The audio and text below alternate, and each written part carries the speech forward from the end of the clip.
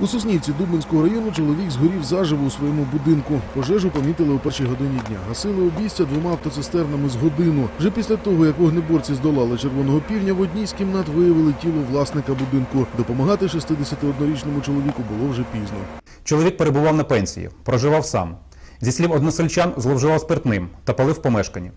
Судячи із того, де наші співробітники знайшли тіло, можна припустити, що власник намагався вийти із палаючої оселі, але йому це, на жаль, не вдалося. Наразі причина пожежі встановлюється.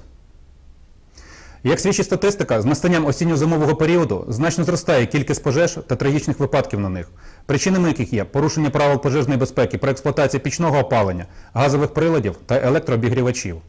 Досить сказати, що лише у Рівненській області за минулорічний опалювальний сезон було зареєстровано 632 пожежі, втрати яких сягають 84 мільйонів гривень.